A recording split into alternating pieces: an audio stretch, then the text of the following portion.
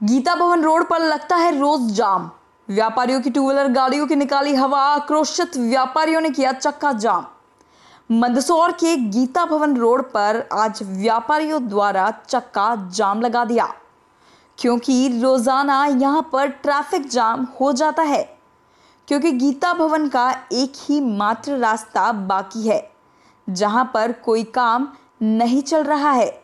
Meet India railway फाटक के यहाँ अंडर ब्रिज का निर्माण चल रहा है और वहाँ का रास्ता भी बंद है। और संजीत नाका के यहाँ ओवर ब्रिज का निर्माण चल रहा है, जिस कारण से शहर का ट्रैफ़िक गीता भवन रोड पर पड़ गया। और जो गीता भवन रोड के व्यापारी है, वो लोग अपने वाहन को दुकानों के बाहर खड़ा करते हैं, जिससे ट्रैफ़िक जाम भी हो जाता है। उसी को देखते हुए ट्रैफ़िक पुलिस द्वारा उन वाहनों की हवा निकाली जाती है, जिसका विरोध करते हुए आज व्यापारियों ने चक्का जाम कर दिया। व्यापारियों की मांग है कि यहाँ पर वन वे शुरू किया जाए, जिससे जाम जैसी स्थिति नहीं होगी। और हम दुकानदार, हमारी दुकान के यहाँ टू व्हीलर गाड़ी नहीं खड़ी करेंगे तो कहाँ करेंगे?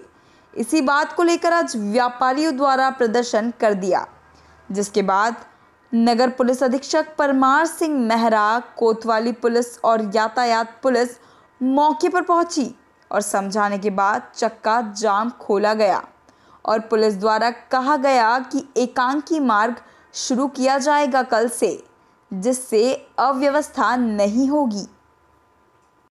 इनका विरोध इस चीज़ को लेकर था कि ये यहाँ पे ट्रैफ़िक की ज़्यादा समस्या से चिंतित हैं और इनके व्यापार में समस्याएँ आ रही है कुछ, क्योंकि ट्रैफ़िक का ज़्यादा लोड होने की वजह से इनके ग्राहकों के वाहन, दुकानों के सामने खड़े नहीं हो सकते हैं। और ये विदित है कि रेलवे लाइन के उस पार हमारे जो अभिनंदन क्षेत्र है, उधर से आने जाने के तीन रास्ते हुआ करते थे, जिसमें से दो पे निर्माण निर्माण कार्य चल रहा है, एक पे ओवरब्रिज और एक पे अंडरब्रिज का काम चल रहा है। तो सिर्फ़ एक ही मार्ग जो है गीता भवन वाला, वो ऑपरेशनल चालू स्थिति में है।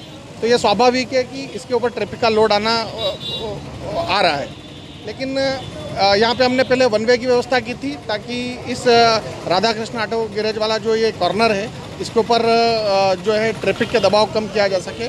लेकिन वन वे की वजह से भी जो है अंडर ब्रिज के वहाँ से लोगों ने जो है रॉन्ग साइड में आना शुरू किया और जो आए दिन के विवाद थे, उसके बाद में बीच में मानसून का जो सीज़न आया उसमें अंडर ब्रिज में पानी भरने की वजह से स्टॉपर हमारे प्रभावित हो रहे थे, गिर रहे थे।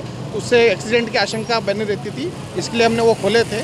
आज फिर हमारी बात हुई है जो यहाँ पे सब व्यापारीगण आए हैं, इनके साथ बात हुई कि ये लोग भी पुलिस का सहयोग करेंगे और जो वन वे की व्यवस्था हम कल से फिर बनाने वाले हैं उसको जो है वो सही से चालू रह पाए। और सही से काम कर पाए, उसके लिए ये हमारी मदद करेंगे और पुलिस भी पूरा सहयोग करेगी। और वन वे को हम वापस से दशरथ नगर वाला जो टर्न वाला पे हमने पहले वन वे बनाया था, उसको कल से फिर से चालू करेंगे। और जब तक ये ओवर ब्रिज अंडर ब्रिज नहीं बन जाते, तब तक के लिए यातायात व्यवस्था करने का काम करेंगे। भाई ट्रैफ़िक का यहाँ ज़्यादा लोड आए दोनों ट्रैफ़िक बंद होने के ये तीसरा ट्रैफ़िक पे इस पर आ रहा है। एक ओवर ब्रिज एक अंडर ब्रिज बिल्कुल लोड सब इस गीता बन रोड पे आ रहा है। इसमें दुकानदार सब परेशान है और पुलिस कर्मचारी ये गाड़ी रखने देते नहीं है वो पंचर कर देते बाहर का हवा निकाल देते और उसका उनका ये कहना है कि भैया प्रशासन काट रहे जबकि प्रशासन का कोई उनके पास ऐसा लिखावा भी नहीं है। और हम यशपाल जी के पास भी गए थे। यशपाल जी का कहना भी शैलेंद्र जी चौहान जी को भी बोला था कि भैया उन्होंने वनवई करो पर उन्होंने अभी तक नहीं करी लेकिन आज के बाद उन्होंने बोला कि कल करेंगे।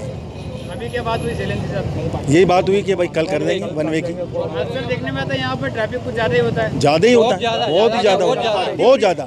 अच्छी ट्रैफ़िक दुकानें भी नहीं चल ये दुकान दुकानदार तो चल नहीं दे रहे। गाड़ियों घुस जाती दुकानों में। बस हवा निकालनी। गाड़ी दुकान के आगे गाड़ी खड़ी रहे हवा निकाल देते।